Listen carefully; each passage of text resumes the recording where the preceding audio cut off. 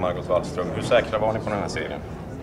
Nej, vi var långt ifrån säkra på någon seger och det, jag tror att vi ska kunna kalla det här för en bragd faktiskt, vad vi, vad vi har åstadkommit och eh, därför så är det ju extra roligt. Det var knappast någon som trodde att det skulle gå vägen i en första omgång eller att stödet skulle bli så stort och eh, det är ju tack vare att det är många som har jobbat så hårt, eh, både här och, och hemma i Stockholm och hela vårt eh, team som arbetar med kandidaturen. Så det känns väldigt, väldigt roligt och vi har gjort det på sakfrågor som vi har drivit och, och lyft med de medlemsländer som vi nu har fått stöd av.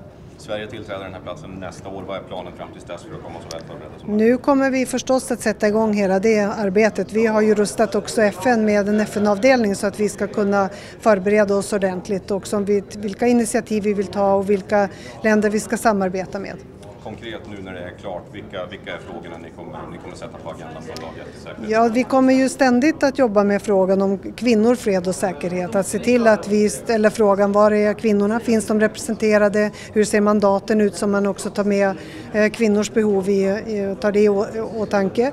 Eh, vi kommer att eh, se till att vi jobbar med klimatfrågan, hur det påverkar säkerheten och fredsbyggande insatserna så att det är ju våra tre prioriteringar prioriterade områden kan man säga.